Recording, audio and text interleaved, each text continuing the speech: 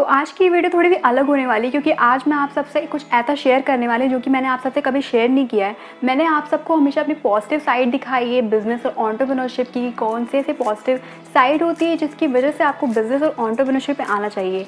But जैसा कि आप सब जानते हो कि हर चीज़ की कोई ना कोई पॉजिटिव साइड होती है, कोई ना कोई नेगेटिव साइड भी होती है। तो हर एक पर्सपेक्टिव को लेकर हमें देखना पड़ता है कि वो चीज़ें हमारे लिए सही है भी कि नहीं।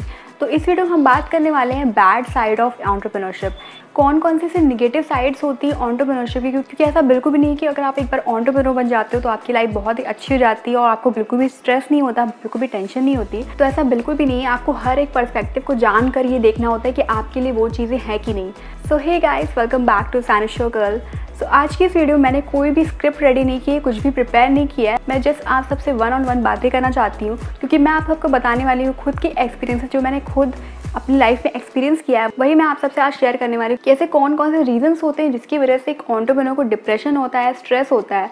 तो प्लीज़ इस वीडियो को पूरा एंड तक देखो, क्योंकि आज मैं आपको बताने वाली कौन से रीजंस होते हैं ऐसे, जो कि ऑन्टरप्रेनोर्स को डिप्रेस करते हैं और कौन से रीजंस की वजह से बहुत सारे ऑन्टरप्रेनोर्स गिव अप कर देते हैं। So let start this video तो सबसे पहले मैं आप सबसे बताना चाहती हूँ कि मैं खुद एक स्टार्टअप रन कर रही हूँ, मैं खुद इस फ़ेज़ से गुजर रही हूँ, इसलिए मैं आप सबसे शेयर करना चाहती हूँ कभी कभी माई लाइफ में बहुत सारे स्ट्रेस सिचुएशन हो जाते हैं। अगर आपको ऐसा लग रहा हो कि ऑन्टरप्रेन्योर बनने के बाद हम बहुत ही कूल लाइफ जीते हैं, हम बहुत ही ऐसे लाइफ जीते हैं जिसकी वजह से हमें बहुत खुशी होती है तो ऐसा बिल्कुल भी नहीं क्योंकि हमें कभी भी ऐसा लगता है कि हम ऑन्टरप्रेन्योरशिप में आए ही क्यों?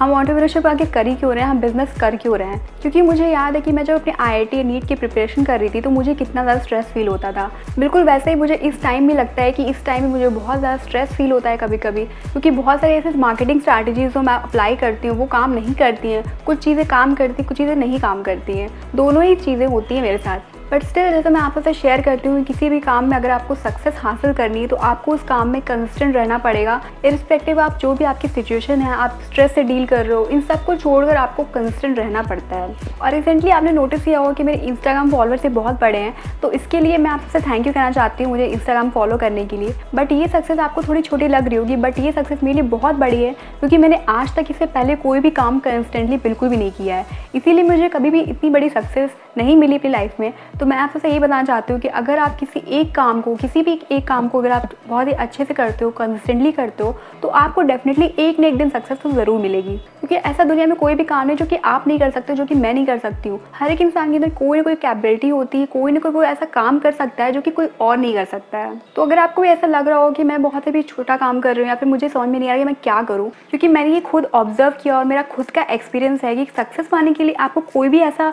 रास्ता नहीं चुनना होता है, जो कि बहुत ही अनयूजल हो। सक्सेस का ऐसा कोई भी सीक्रेट नहीं होता है। सक्सेस पाने के लिए आपको सिर्फ़ कंसिस्टेंसी मेंटेन करके रखना होता है। चाहे वो आप कोई भी काम कर रहे हो, चाहे वो बहुत ही छोटा काम कर रहे हो, चाहे बहुत बड़ा काम कर रहे हो, इससे कोई फ़र्क नहीं पड़ता। आपको सिर्फ़ एक काम में कंसिस्ट रहना पड़ता है।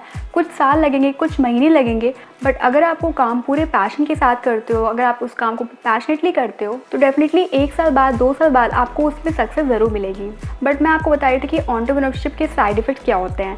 एक्चुअली अगर आप ऑन्टरप्रनरशिप पे हो तो आपको कुछ काम ऐसे भी करने पड़ते हैं जो कि आपको बिल्कुल पसंद नहीं होते हैं। मुझे बहुत सारे ऐसे काम करने होते हैं जो कि मुझे बिल्कुल पसंद नहीं है। मैं बहुत ही इंट्रोवर्ट टाइप की हूँ बट मुझे नेटवर्किंग करनी पड़ती है लोगों से, क्योंकि ये सारी चीज़ें ऑन्टरप्रनरशिप के लिए और मुझे पता है कि बिज़नेस के लिए कितनी ज़्यादा इंपॉर्टेंट है। सो गाइज़ एट लास्ट मैं आपसे यही कहना चाहती हूँ कि अगर आप बहुत ही ज़्यादा पैशनेट हो, अगर आपको सच में लगता है कि आप ऑन्टरप्रेन्योरशिप कर सकते हो तो ही आपको ऑन्टरप्रेन्योरशिप पे आना चाहिए।